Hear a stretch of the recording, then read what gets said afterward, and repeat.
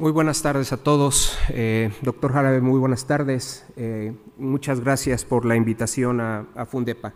Pues es un tema complejo, muy amplio, podemos tomarnos horas hablando de ello. Traté de hacer una síntesis de aspectos que considero que podemos destacar y eh, finalmente me voy a centrar en, en, algo que particularmente en nuestro grupo de investigación nos preocupa bastante. la fisiología del hígado, bueno, eh, como ustedes saben, el hígado es capaz de llevar a cabo más de 500 funciones eh, que van, como pueden ver ahí, desde producción de bilis, eh, destoxificación, ahorita la doctora Gutiérrez hablaba un poco de eso por los citocromos P450, formación o síntesis de muchas proteínas sanguíneas que tienen efectos muy importantes en la salud y por supuesto es el centro regulador del metabolismo, del metabolismo de carbohidratos, del metabolismo de lípidos particularmente. Bueno, pues en, los adultos mayores pues todo esto se ve seriamente alterado. Eh, la mayoría de estas funciones tienden a disminuir y por allí un par de ellas tienden a aumentar. Esto es preocupante por la transición demográfica que estamos observando desde hace varias décadas. Y aquí les muestro esta gráfica donde podemos ver cómo la población por arriba de los 60 años se viene incrementando y cómo esperamos para el año 2050.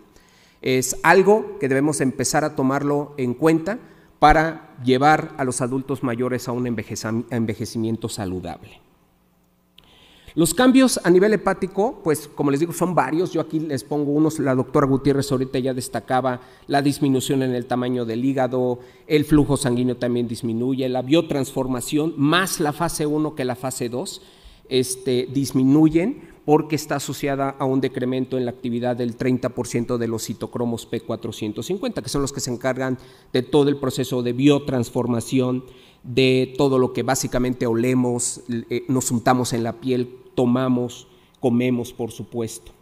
Eh, pero eh, aquí les pongo particularmente este ejemplo que me encontré en la literatura, donde podemos comparar a jovencitos de 20, 29 años con adultos de 70 años o un poco más, como podemos ver en esta gráfica, eh, la capacidad enzimática de estos sistemas se ve seriamente disminuido, de tal forma que la biotransformación de xenobióticos, que es una de las principales funciones del hígado, va disminuyendo conforme la edad va aumentando.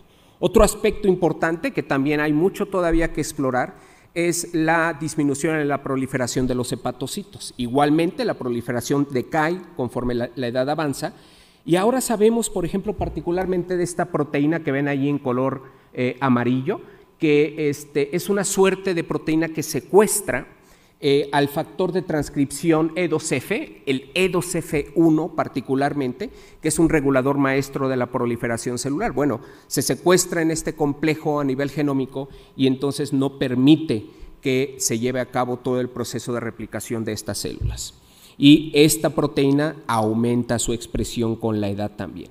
Pero en el metabolismo de lípidos, que lo tenemos muy alterado, esto, esta primera diapositiva es una visión general. Eh, básicamente el hígado toma los lípidos que vienen de la dieta o, de, o que son movilizados del tejido adiposo o por síntesis de novo, mediada por, básicamente por insulina, bueno, todo esto es coordinado por el hígado, empaquetado en lipoproteínas de muy baja densidad y exportado al resto del, cuerpo. Eh, parte de ello se va hacia la mitocondria, donde se lleva a cabo la oxidación con fines energéticos, bioenergéticos. Bueno, en la vejez igual todo esto está alterado y particularmente es aquí donde pueden empezar los problemas como vamos a ver a continuación.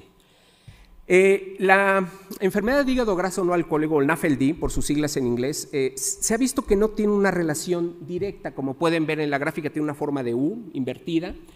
Esto es cierto, pero lo que sí se ha visto en el adulto mayor es que la progresión de una esteatosis simple hacia un compromiso inflamatorio, que sería la esteatohepatitis eh, o NASH, como se abrevia en inglés, es mucho más importante en el adulto mayor.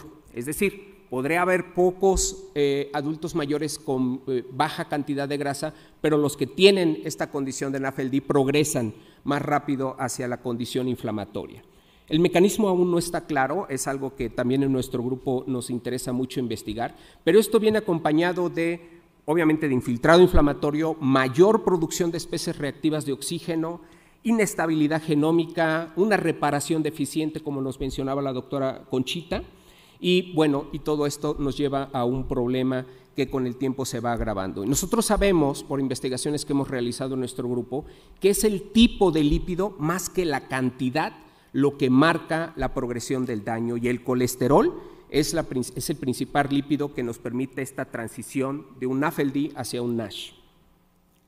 Eh, y mucho de ello tiene que ver la mitocondria. Mencionábamos que en el envejecimiento hay eh, una disfunción mitocondrial y entonces esto nos lleva a mayor estrés oxidante, senescencia, que nos hablará el doctor Kersenovich en un momento, mayor apoptosis en hepatocitos y una baja producción de ATP. Pero si esto se ve soportado además por una sobrecarga de colesterol, entonces los problemas que estoy mencionando se agravan. Eh, como lo podemos ver aquí en animales de experimentación, vemos cómo el incremento de colesterol, de triglicéridos como un evento compensatorio, está asociado a pruebas de función hepática elevadas. Eh, aquí les muestro en esta tinción que ven en color azul, que es filipina, es un marcaje que hacemos para detectar colesterol, cómo está las células normales cargan colesterol en la membrana plasmática, pero abajo por el, consumo de una dieta alta en colesterol, este, esta sobrecarga se agrava y nos lleva a la disfunción mitocondrial. Eh, en los últimos años también se ha incrementado muchísimo la hipercolesterolemia, como podemos ver aquí cuando se comparan datos del 2012 al 2018. Eh, vemos que en términos generales el porcentaje de personas con eh, hipercolesterolemia sube y en la gráfica de abajo podemos ver que hay diferencias también en, torno al, al género. ¿sí? Donde, como pueden ver, las mujeres tienden a subir los niveles de colesterol con la de ahí se mantienen comparado con los hombres que, caen y esto tiene que ver muchísimo con lo que les voy a presentar en la segunda parte de esta plática.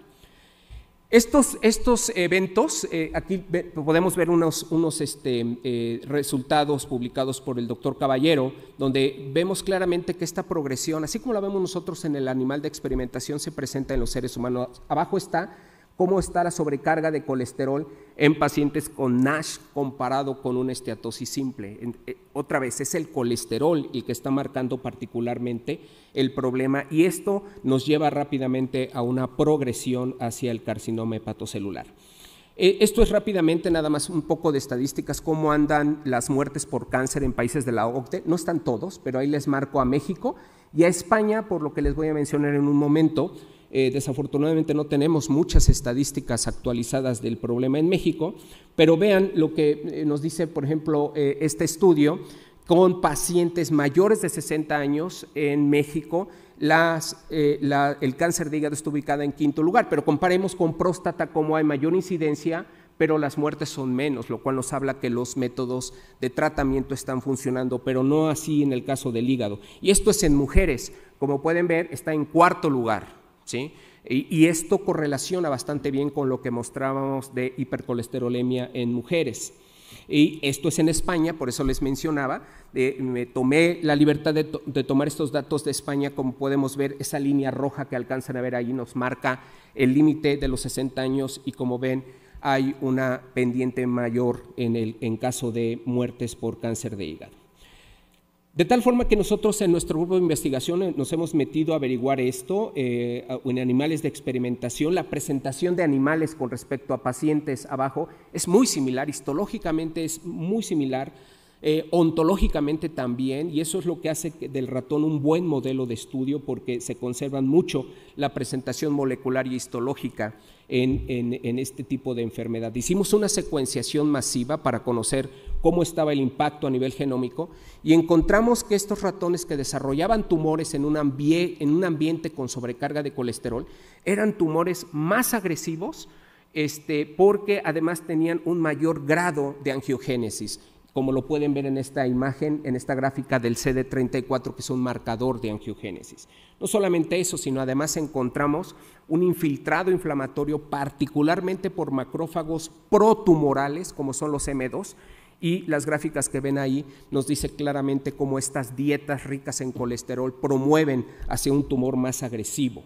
Extrajimos el, el signature molecular, la firma molecular específica que son estos genes que ven ahí, y de ahí tomamos cuatro. No me voy a meter por razones de tiempo quiénes son esos cuatro, ahí están, pero lo que encontramos cuando hacemos una genómica funcional comparativa y llevamos los datos de ratones hacia los pacientes, nos damos cuenta que estos cuatro marcadores ciertamente están elevados, como pueden ver en color rojo, en esta cohorte de pacientes con respecto a pacientes sanos. Tomamos estos cuatro genes eh, con un eh, algoritmo particular que desarrollamos y los agrupamos de tal forma que pudiéramos ver si nos estaban dando información pronóstica. Y como pueden ver, en 304 pacientes que tienen una expresión baja versus 60, 62 pacientes que tienen una expresión alta de estos cuatro genes, vemos claramente cómo está la sobrevivencia de estos pacientes con eh, carcinoma hepatocelular.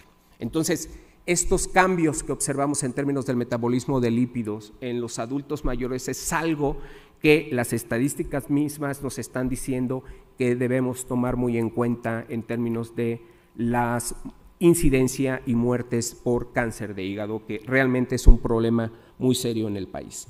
En resumen, pues les puedo comentar que estos, los cambios fisiológicos que, como les digo, podríamos tomarnos horas de hablar de todo ello, eh, explican mucho de las manifestaciones observadas en los adultos mayores a nivel hepático.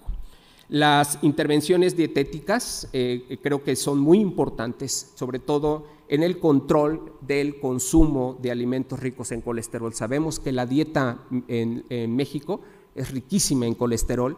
Los datos de la Organización Mundial de la Salud nos indican que eh, consumimos lo doble de lo recomendado y por supuesto que la pérdida de la homeostasis de estos lípidos, particularmente del colesterol, está condicionando al desarrollo de tumores hepáticos más agresivos, por lo cual debemos de atender esto para tener un envejecimiento saludable. Eh, no, me resta más que agradecerles su, su atención al grupo de colaboradores que tenemos, particularmente quiero destacar al doctor Arturo Simoni, que es el que los datos que les presenté, y eh, por supuesto a todo el staff del laboratorio, alumnos y profesores. Muchas gracias. Gracias.